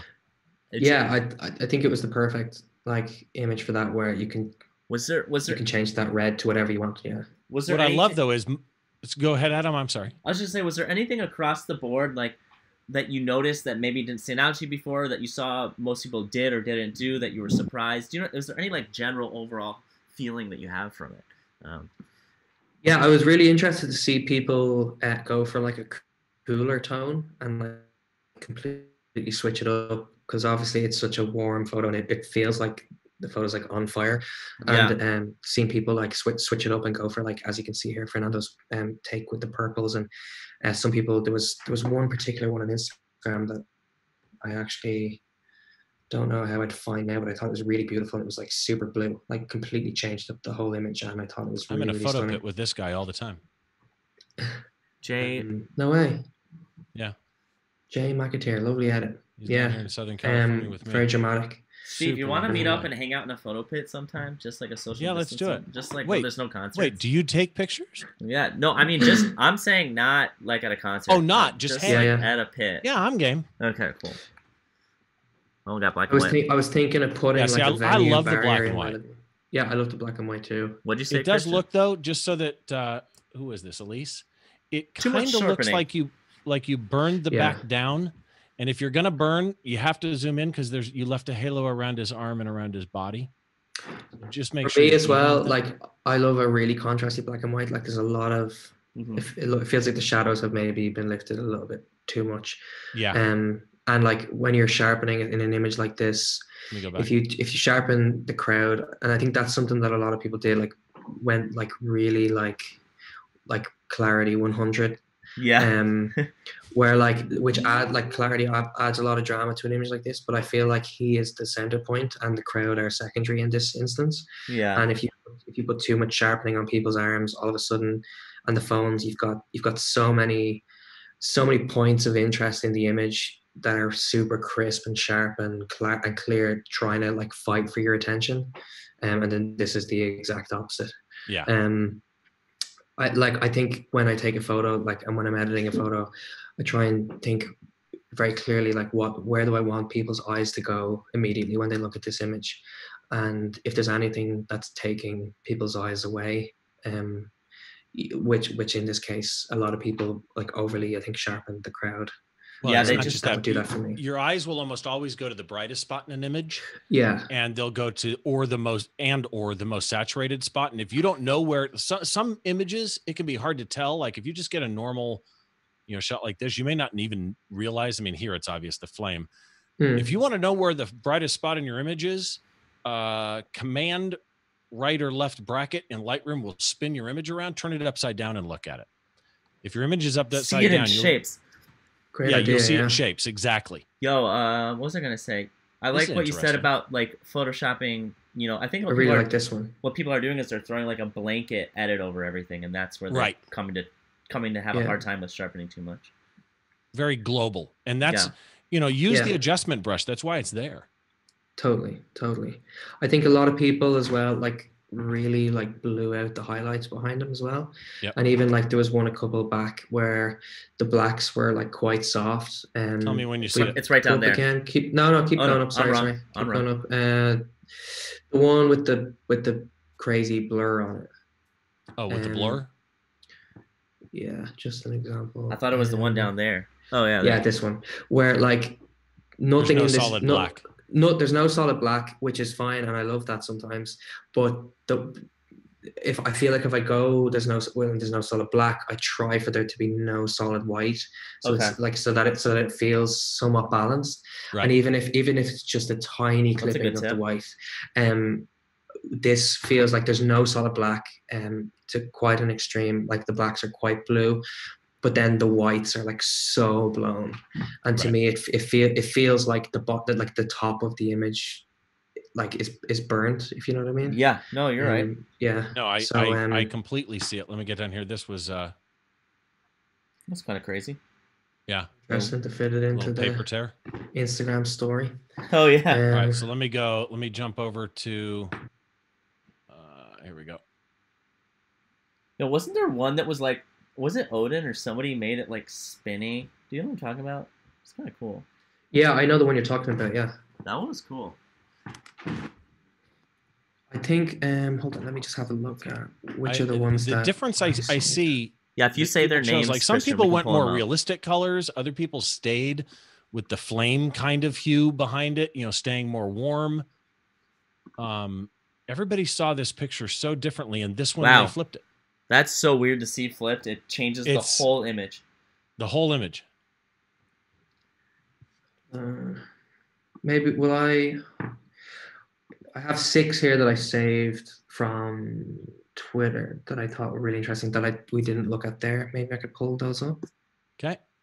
Uh, let me see if this works. I Um, was gonna here we pull go. something up and I here was one uh where was Can you see one? my? What am I looking at? Can you guys see? Uh, let me stop my share. Yeah, Oh, yours. sorry. uh, no, let me stop mine, and then we can get yours up there. Oh, that's cool. I thought this one was great. Who is this? Do you Um, have it? Is this a screenshot? Do we have whose it is? I don't know. Uh, it is a screenshot, and I Oh, I can. love Uh, that. it says the Annie or I am. It was in response to your original tweet. yeah, I see at the top. Twitter.com well, slash. also I am Oh, yeah, the yeah. raw editing challenge, but I didn't. I see it. am Neil Hazel. Yeah, that one's Um, awesome. I love that he cropped it into the square, but then he like took the the um the flame from behind and copied it across. I feel like maybe he could have been a bit cleaner with his clone stamping, but But I like it the vibe. created- But it, yeah, it created a really really nice contrast where like like a yin and yang top, like white at the top and black at the bottom, and Drake like per- perfectly splits it, creates a really dramatic silhouette. The slight like yellow tint to the whole image uh, just makes it a little bit more interesting. And the separation- and white. the separation of the white top and the dark bottom isn't Yeah. like where his head is; it's mid body. Yeah. But I'm glad you brought up the the cloning too, because there's a lot of potential in this shot Yeah, if the cloning was clean. completely. Yeah, and that's something. It's like an acid wash Uh, or something. Yeah, it is. Yeah, it's really interesting. And um, that was one that I really I really could- stood out to I me. would never see a photo and be able to think I could do this. like you know, like it's so cool to see that somebody interprets it that way. This so this girl, uh, Ziania, I can I, I hope I'm not butchering her name, is from Dublin. Um, Zianja, I think she pronounced it. Um, yeah, a beautiful photographer from Dublin. Her work is amazing. If uh, we're We'll checking it it out. Yeah, her Connor Instagram. can I think her, I think I think her Instagram handle is the same as her Twitter handle here. Um, and this is like very sim. Oh, hold on. Yeah, very similar to like the original tones Yeah, that I did in, in my one. And um, if you look at like, she always gets like her grain like super beautiful and I don't know, just she her her tones like really inspire me a lot when I'm looking at live music photography. Um, and I feel like this was a really, really nice one. And maybe like I would have darkened the crowd personally a little bit more, but um, yeah, a lot of drama in this. Um, and then I feel like this one is like uh from Jeremy Sobokan, is his name? Um, is like I feel like this is quite similar to the edit that I just did. Like Jeremy very is on here every week. This All the time. Every killing week. it, Jeremy. Killing good it, job, Jeremy. I love this, like really earthy reds and oranges, soft whites, deep blacks, um, and then like there's some green in there, like even like like I did. Um yeah, and this this one really, really, really stood out to me. Um very tasteful in my opinion. Big fan. Um and then yeah, a couple of other people who like similar to Zanja's where they were kind of quite close to my original one, which I really like. Um very warm. Um that to me this is how that moment felt in the room um which i think is great um, That's for somebody who who wasn't at the show to nail it that well Yeah, it's Right. hard. It's hard So- to edit a photo and get the correct vibe when you weren't, you didn't experience it. You know. yeah this one was uh, a kind of an interesting twist. What is that up Yeah, there? actually, cool. not so much the text to me, but they brought the shadows up on his face. Oh, so you can yeah and like his clothes are the only black blacks in the Oh, whole yeah. thing which makes him stand out quite well You're which, right. which was Um, kind of a, a neat way to to see the image. yeah Uh, what else do we got? Like this was this guy's actually a podcaster too. This is Clay. Uh, Clay. through my lens. also a nice material. Yeah. Also, very nice material for Huh. very potting. nice material Yeah. Uh, so we got that one. So What- yeah, there were some there were some really nice creative twists. Where's on- Odin? Oh, there's Odin's. Go up, go up. Oh, you go. Not this one. Well, this one's cool too, but it's like to the right of your picture, Steve. right here. Or it's not Odin. It's somebody else. No, This that's uh, thi- uh, that's cool though. I like that. It kind of. I don't know. This doesn't work for most images, but I like that it pulls you right into the middle and it doesn't make me Yeah. feel sick. They masked it really well too. It's on the arm. It's not as much on his body. Yeah, I wish It's actually was- kind of a nice radial bl- blur. It's not bad. I like that. Which one were you talking about? Oh, look was, at this one. That's all it was. Well, they went deep. That's another whole image. This looks. This reminds me of like a like a basketball player shot where it's like they're in the front dunking, in the back they got like their portrait. Yeah, there's some there's some nice stuff in here. Good job, everybody. Great job. Yeah, good Well job, done. everybody. Thank you for thank Great. you again for like. I mean, I know you were so easy to work with, and I appreciate you donating the raw. But thank you for doing that. It's not an easy thing to do, especially with the caliber of people you work with. So we appreciate it so much. Um, My pleasure. Thanks. Anytime. Thanks so much for having me on. It's been it's been really great, and uh, any anytime I get to kind of help out in music photographer community and allow people to learn. Like I I remember when I was starting off, somebody did something similar, uploaded a raw, mhm. and um, I found it super helpful. And uh, I think trying to edit somebody else's images is a great way to learn, and I think it's a great idea. And I'd say Good practice. prop, pro- props to you Yeah. guys for for doing this every week and constantly giving people resources and inspiration to to learn and improve. Thank you, So, man. That's very kind of you. Yeah, yeah, absolutely. Yeah, it's, I've had It's like it's so so many amazing like, community.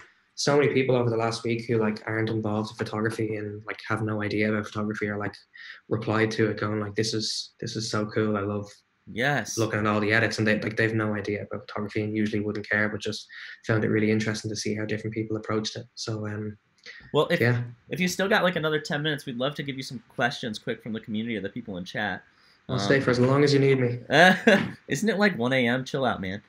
It's Wait, twenty past ten. We're Oh, okay, not too I've, bad. I've I have nothing else to be doing. Don't worry. Okay. Uh, well, Connor, one of our mods, always has a question because I'm sure he wrote it two hours ago.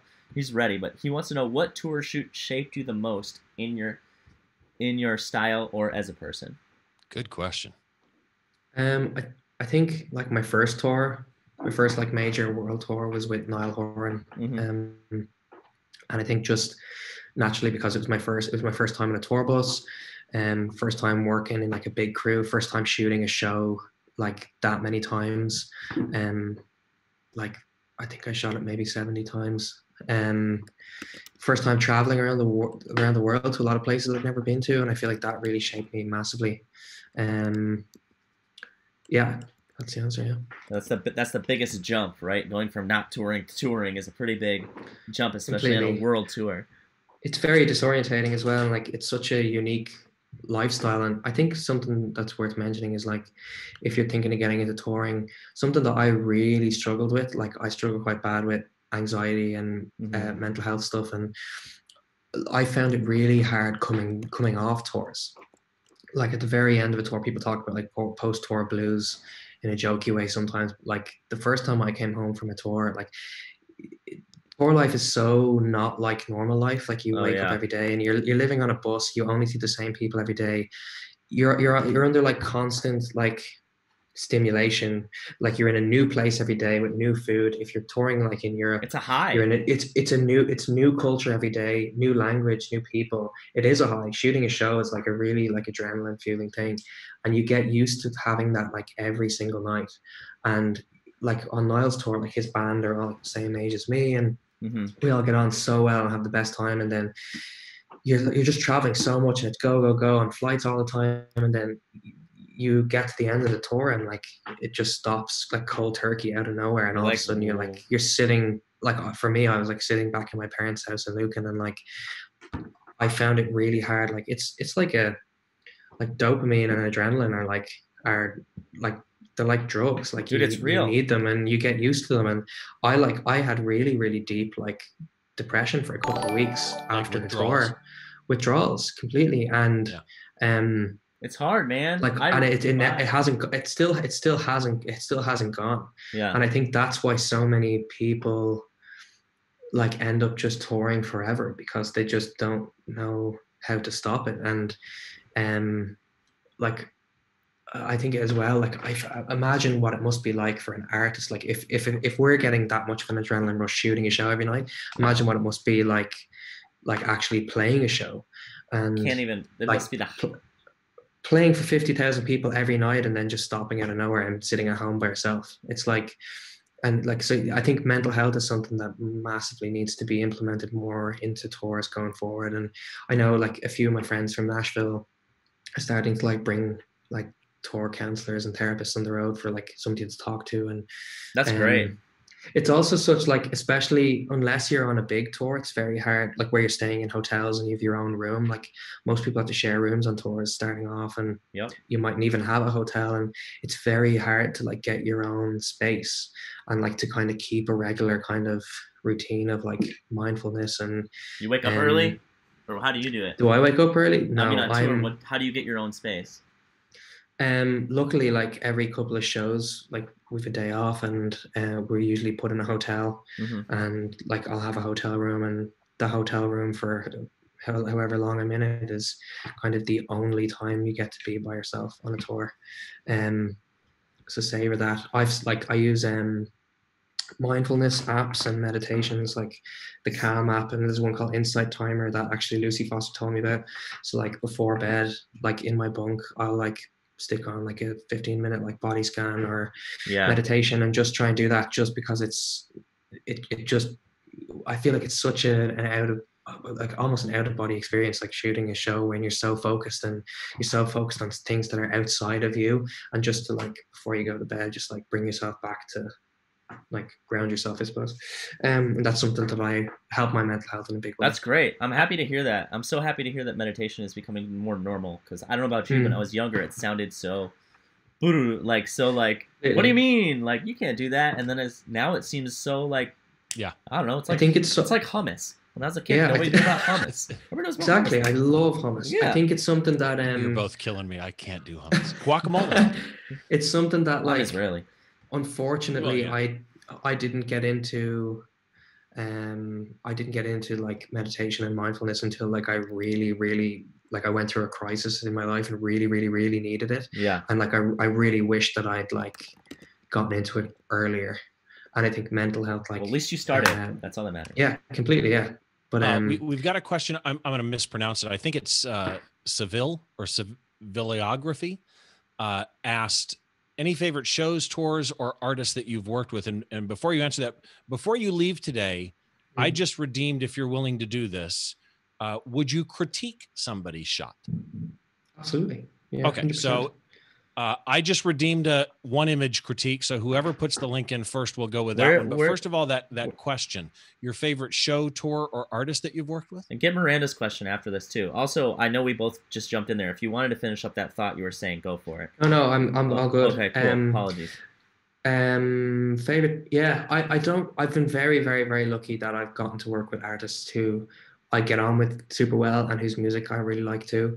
Um, um, and I haven't, I haven't really like people always ask me like, I'm sure you get it too, and like they just want to know well, who was really difficult, what celebrity, which celebrities were difficult. I've been very like I don't think I've ever worked with anybody who was super difficult, which is And you forget those great. things too, because you Yeah. have to focus on the positive stuff. It's- Yeah. completely um but i worked with i toured with Hozier last year and like his first album was like um, a really big album for me personally that i listened to an awful lot and um same with like Maren Morrison. Just anytime I get to work with an artist who like I genuinely listen to on a daily basis is like really, really special.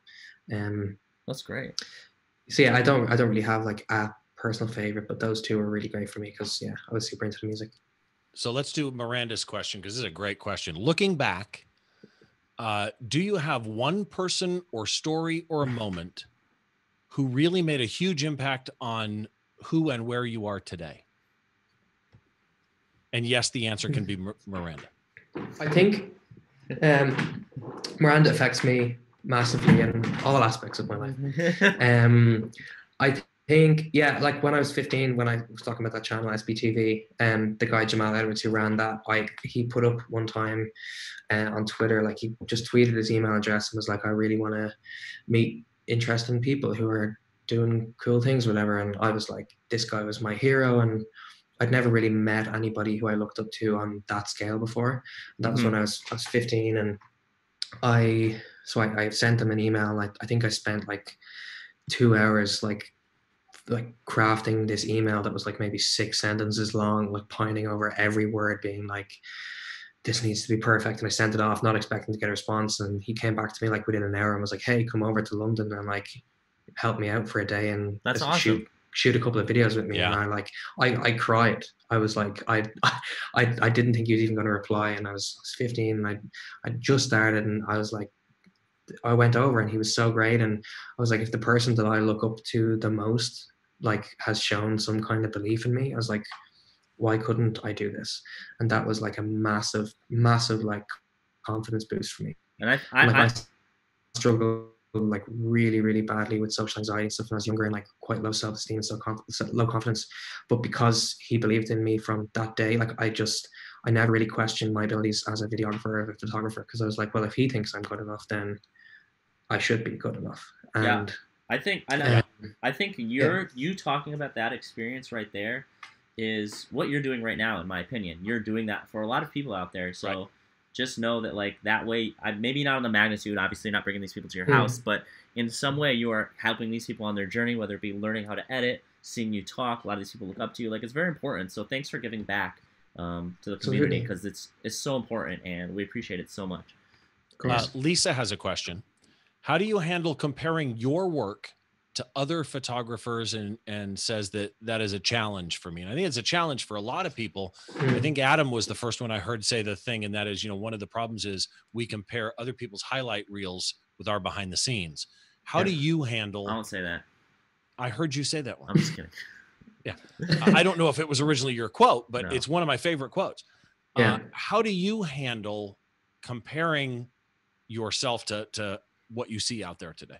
Yeah, that's definitely something I struggle with a lot as well. Like, I look at people's work all the time and think, oh my God, like, I I wish my shots looked like that, or my colors look like that, or I got to shoot that artist. And I think you just kind of have to kind of reframe it in your mind and think, use it, like, turn it into inspiration and think, um, um, like if, if you see a photo that you want your work to look like don't think oh i wish i'd done that. Think well like look look at the image and think what what can i do? What can i learn from this and to move forward? Something i do every kind of month on my instagram is i, I save photos that i love every day on instagram and then at the end of the month i'll share maybe 30 to 50 of the photos that most inspired me that month. And when i go through that it's I, I'm, I'm looking at what aspects of the images i love and think how can i like put that intention into my shooting going forward. And i think you just have to like yeah just look at it as a positive look at it as inspiration. And um like when i was younger when i didn't get a job like if, if another photographer got a job ahead of me or got to shoot an artist i really wanted to shoot um instead of think like being negative about it or being jealous or i try to think well if they got the job ahead of me then that means that i need to be better. And I try and use that as inspiration to try and be Yeah. better. Um, I- and I think, I think in all aspects of life, that's the best way to kind of um, flip comparing yourself uh, with other people on its head and try and use it as a motivation rather than Well, something to be upset about. I agree with that. And Steve, what I do try to say is like it's a, it's important to compare yourself. I think that's a, a crucial Mm. part. Like to say you don't compare yourself would be everybody does it. It's just what you do with that. info- Everybody does it. it's what you do Yeah. with that information that's key. If you're if you're putting yourself down, and like Christian's saying, you know, if you're using it for inspiration or proof that what you want to do is possible or what these are people doing, that's the key. Not being Yeah. like, hey, they did this, I can't do it. This is you know. So I Well, like what- I it's- like how you said that, Christian. That was great. It's self critique as opposed to self beating up, right? You, Yeah, you have to completely. approach it based on a number of variables. Where are you in at your level compared to the person? What is it you're trying to accomplish? What you know, a lot of Yeah. lot of parts to it.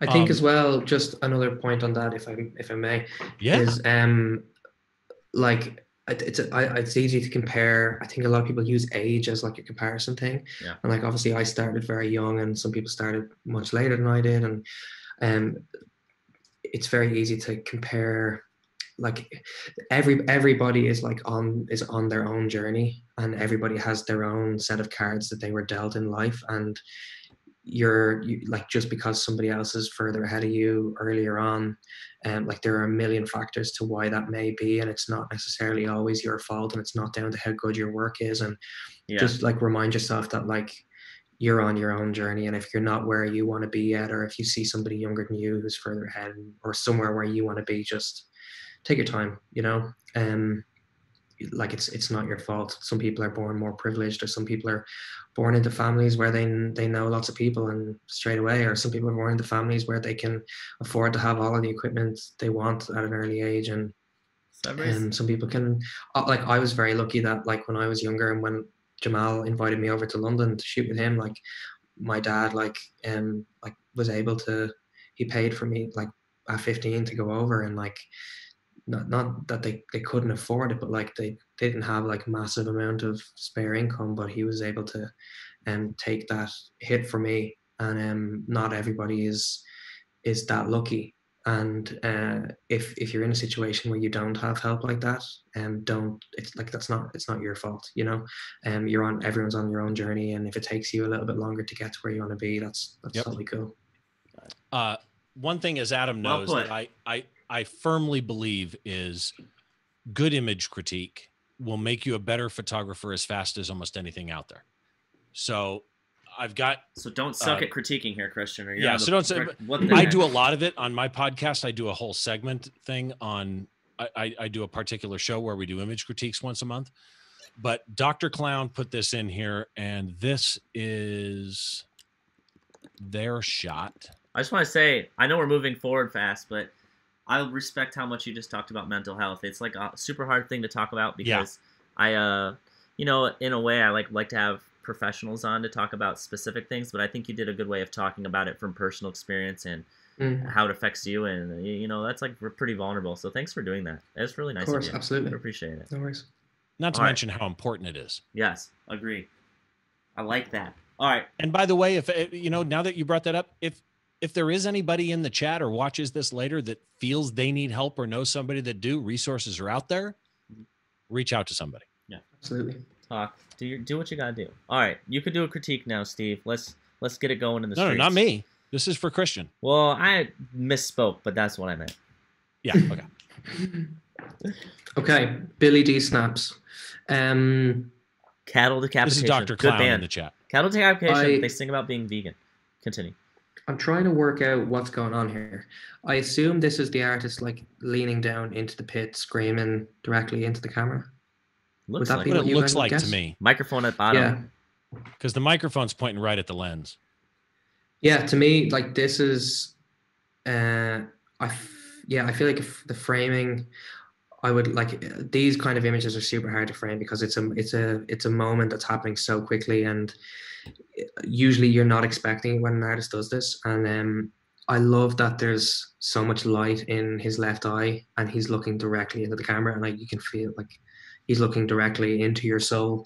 Um but uh it's it feels like I feel like maybe this was shot in quite a small venue. Um I feel like when you shoot in small venues when the lights are super close to the artist you get these kind of really bright spots and then really dark spots um because the light hasn't traveled too far so it hasn't been able to diffuse. And like obviously his his face is quite bright on one side and then quite dark on the other side. Um but it's it's really nice the way you can see like the hair parted like just perfectly like to sh- show his eye. Like the rest of his face is completely covered in hair except for that bit for his eye which is really really nice. Um so yeah i think i probably because he his face is so low in the image i probably would have cropped it in even tighter maybe because you're, you're not really getting much context um because it's it's not quite it's not very wide. So maybe i just try and have, like throw away even trying to have any context and maybe crop it in even tighter because maybe this hand at the top and the hand on the right are slightly distracting. I I f- like they add a bit of energy to the image, but I don't feel like they're really adding to the story. And maybe I maybe I'd crop it in a little bit further, maybe, and make it more like a, a portrait. But that's just my first thoughts. So I'm going to add in here everything he's just said. I agree with, but the main thing is what he said about the eye and the hair part. This is a tough capture with him looking right down at you, but Mm, you've got the iris Super area, tough. but I can see white of the eye on both sides of the iris, which kind of gives me a, a, a more of a realistic feeling. He's looking at me, and I can even see camera left his right eye. Uh, so good job there. The hair's more in focus Mm. than the eye, but yeah, whatever. Um, the hands though are super distracting. You don't need the hand at the top at all. Crop it all the way down. Take a little bit of the top of his head off. crop in from the right or burn that hand down or clone it out on the right Yeah. and crop in from the left. So put kind of his eyes, like his nose, bridge of his nose, the upper left rule a third. If you did that, so you brought the top down and the left in, it would really make it a much stronger image. But uh, uh, great concept. I agree. It does look like it's kind of in a in a small venue, and one other person put it in, and this is Bryn, and she's always here. So let me pull this one up. This is Bryn's shot. It's a very cool image. I loved straight away. Like I love the symmetry here. I'm a, a big fan of symmetry in the in photography. The two drums, she's framed perfectly between the two of them. The colors are super nice. I'd probably personally add a bit more contrast, but that's just personal taste completely. Um, yeah, I, I, I love I love this image. If I took this, I'd be really happy with it. The only thing that maybe if I was being super picky is like her feet are cut off at the ankles. Um, which can sometimes be a little bit uneasy for the eye. But like that's being super picky if you wanted me to pick things out. Otherwise, I, I really like this image. It has a lot of character. I don't know this artist, um, but I feel like I I, I, I can feel the moment. I like uh, pretty strongly here. Yeah, I really like it. Yeah, I agree. I, it does need more contrast. There's Well no done, team. solid black really in here. There's no super solid whites. The symmetry is perfect and the moment is perfect. We're gonna have to pay him. Yeah. We made him critique photos. Say That's. I'll, I'll critique as many photos as you want me to critique. Yeah, really. Uh, as far as the ankles are concerned, the rule of thumb generally is don't crop at a joint because it, it looks almost like an amputation as opposed to a crop. So bring it up mid calf and you'd probably be fine with this. I'd bring out some highlights more in her face, but the spot on her cheek I would actually take out. Um, Really? but other other than that, Is that makeup or a spot? I, think, that might be. I- Gl- I think that's glitter on her face. I thought it was glitter under Oh, her maybe eye. it is. Maybe it is. Yeah. At which point, maybe if she was brighter and not so in the shadows, I, I wouldn't mind I mind think it it's as much. I think it's fashion. Could be Exactly. fashion. It could be something It's painted on makeup. cheek. Brent says it's makeup. Okay, I really like good. it. I, yeah, Good. I, I, I've, vote keep it. Yeah. But good I capture. vote Good add add another one. yeah, cloned it across. Cool. All right, guys. Well, I think I will try not to finish. I usually say we're done and then we go, but I just want to let everybody know we now have a sensor cleaning as an award on the channel. So if you need to clean your sensor, you can redeem it. It makes no sense. Um, Christian, if you've never used Twitch before, you can basically give these rewards to people who watch your channel. One of them is image critique, which is what Steve used to initiate Oh. what we just did. It's like what people people generate a currency over time, and ours Gotcha. is ours is sensor dust. Sensor dust. Since everybody wants S- sensor dust is not something you want to be accumulating. but it happens. I've never it- once got a sensor cleaned. Wow. Well, that's the sweetest brag I've ever heard. No, I just, I just, there's like one speck. you just buy a new camera, right? There's one speck. ugh, I wish, and uh, I just, I just, if it gets annoying, I clone it out. well, everybody say I- thank you I- to Christian. Thank you for joining us, Christian. Thank you for having me. My Yes. pleasure. Absolutely, anytime. All right. Well, so people can follow you. It's it's on your name. A- Adam edited your name to show your Instagram tag. but also But tell people Azania. it's a different one on Twitter too. Where can people find you on Instagram and Twitter? I don't actually use Twitter, um, Okay. but um, I just I have it, but I don't use it anymore. So yeah, just just Instagram, um, at Christian Tierney. So yeah, that's me. Well, awesome. Get awesome. me over there.